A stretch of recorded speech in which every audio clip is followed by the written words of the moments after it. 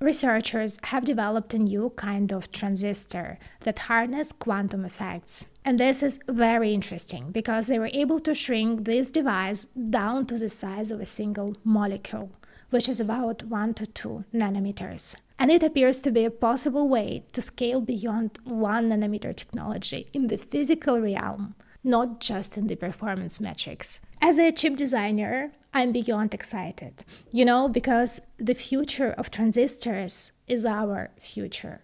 Nowadays, microchips are simply at the heart of every single electronic device you can imagine. And each of them is built of transistors, the tiny devices that are used to build everything from simple logic gates to CPUs and GPUs. For the last 40 years, we've been shrinking the size of transistors to be able to fit more computing power into a smaller chip. Right now, we are at about 200 million transistors per square millimeter of silicon, and we are at about 200 billion transistors per GPU. At the same time, we already have AI chips built of 4 trillion transistors.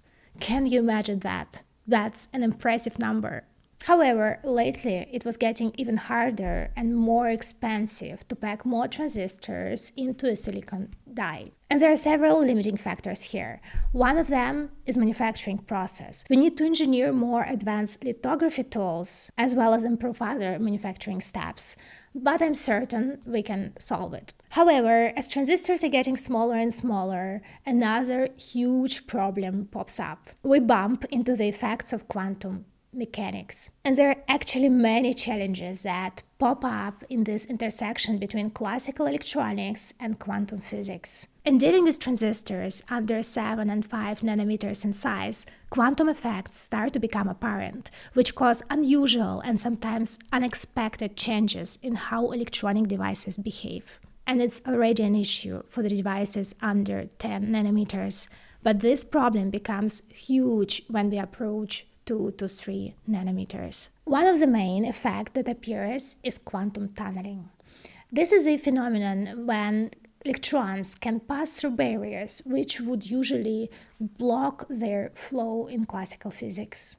Here is what a classical planar transistor looks like. And when we try to scale it down, this means in practice the scaling of the gate length. As the gate length is reduced and the gate oxide layer becomes thinner, electrons can tunnel through the barrier even when the transistor is switched off. And that's a big problem because practically it means you can't switch it off completely.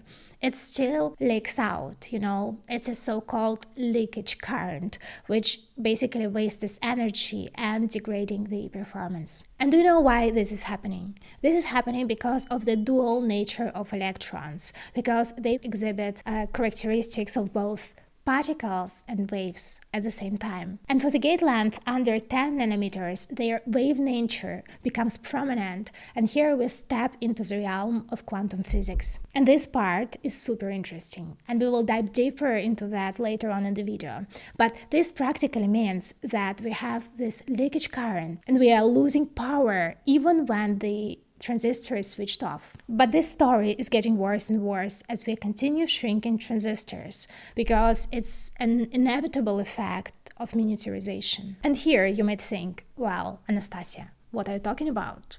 We already have transistors of 3 nanometers, for example, from TSMC. And Intel already has a roadmap towards 20 angstrom transistors. By the way, an angstrom is one tenth of a nanometer, which means it's about the size of a single atom. You might be wondering, how is it possible considering all the challenges which we just discussed? And you would be right. When it comes to nanometers, it's really not that simple. Today, in the today's video, we are talking about literally shrinking the transistor. So shrinking the classical planar transistor. You know, this quantum-based transistor we discussed, it really has a, the channel of the gate length below one nanometer. But in general, to be honest, this nanometer concept, uh, nanometers haven't meant much for quite a long time already. You know, originally we had this classical planar transistor where we have a drain, a source and a gate, and all arranged in a single two dimensional plane. And when we apply a certain voltage to the gate,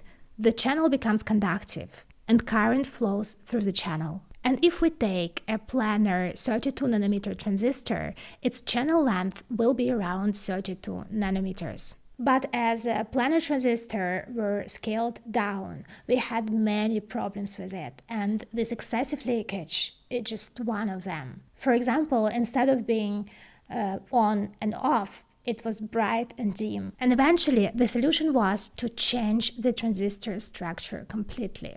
To move from the planar transistor structure to a more complex three dimensional structure. And as a result of this, the first FinFET 22 nanometer transistors were developed by Intel.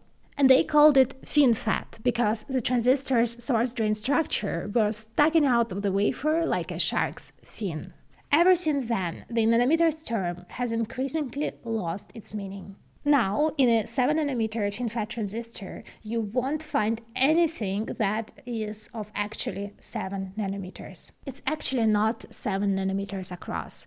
That's just a marketing term that indicates that you would need a planar transistor that small to achieve the same performance and logic density as this 7 nanometer FinFET device. But now, what happens when we shrink the actual transistor gate to 7 nanometers, 5 nanometers, 2 or even 1 nanometer so that a single molecule can fit in there? Well, so far it didn't work, and there were a lot of researchers working on mitigating these quantum effects. But just think for a moment.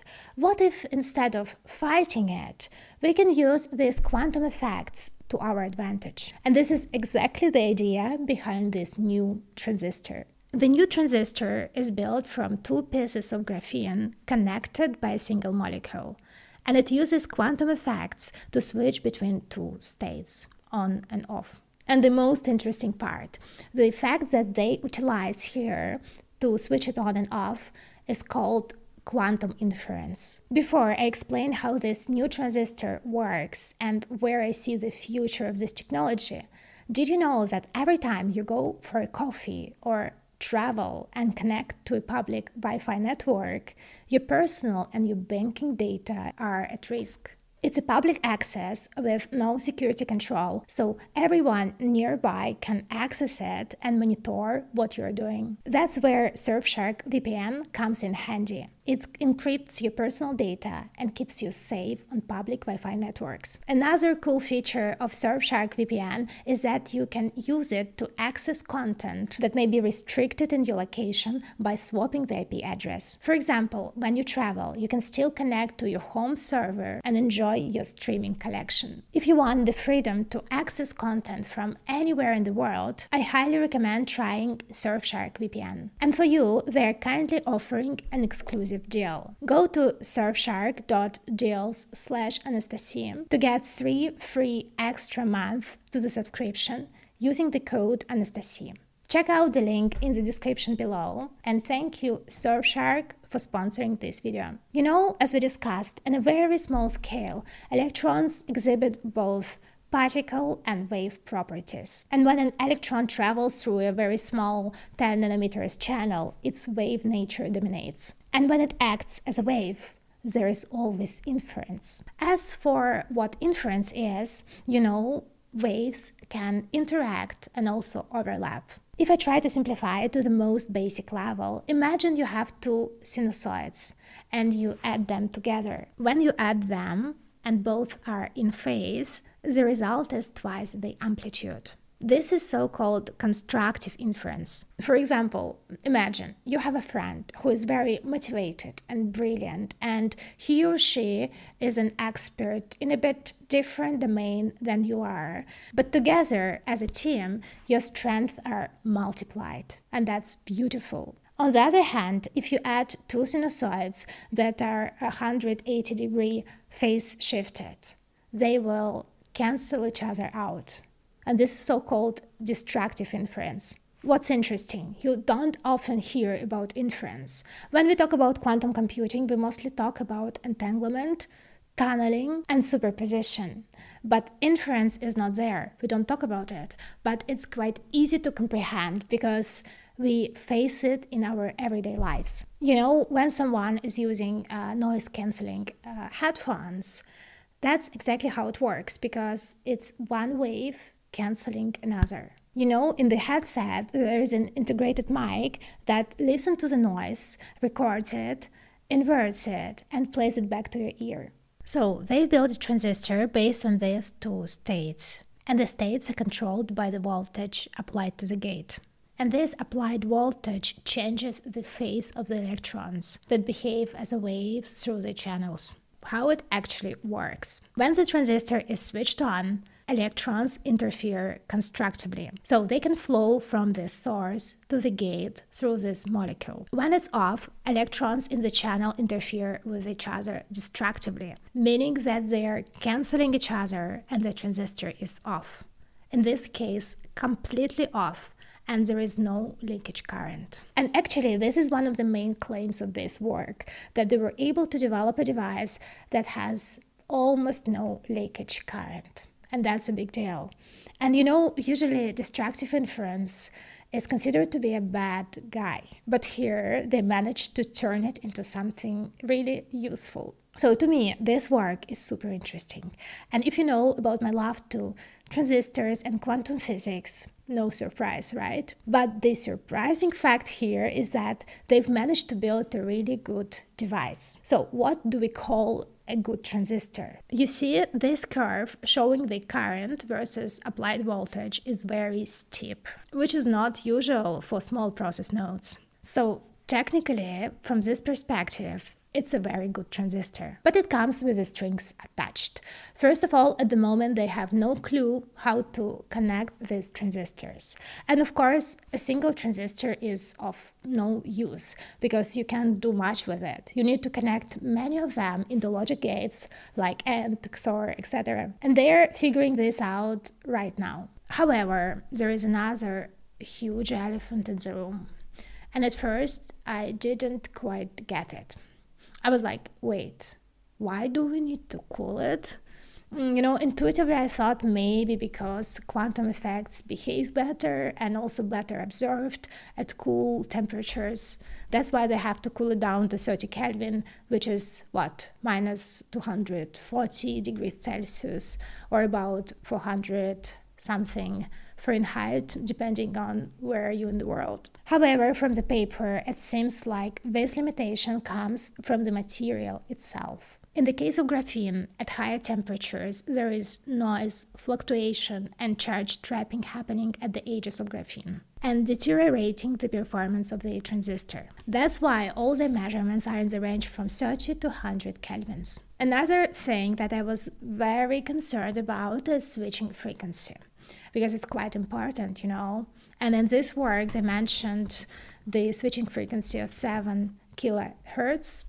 And that's, of course, not useful. Modern transistors work at uh, tens of gigahertz range, but as understood in this case, this is limited just by the current setup. And these transistors can work up to terahertz range, which is reasonable number. But in practice, this terahertz switching frequency uh, can never be achieved because of the interconnect parasitics. This is the main limitation. I talked about this in the previous video. That's why we see even at the smaller process nodes, like in 7, 5 nanometers, the operating frequency doesn't increase. And I imagine only computing with light can get around this. All in all, it's a very interesting attempt. And as transistors will be getting smaller and smaller, these quantum effects will dominate. And this new technology seems like a possible way to scale beyond 1 nanometers in a physical, real dimensions, you know and this is really exciting. The future of transistors is our future because these transistors are the most fundamental building blocks of the modern electronics. And our success in its continuous improvement is fundamental for the advancement of technology and for the future of our civilization. Let me know what you think in the comments, and I will leave some links in the description below, so check it out.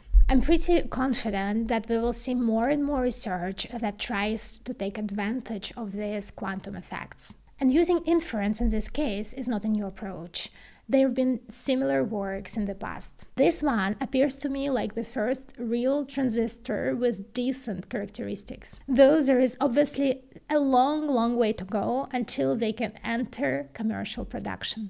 Another thing, I'm not entirely sure about the materials they used here, to be specific about this single molecule that they trapped between the electrodes. Honestly, I don't know much about this because I don't have a degree in chemistry.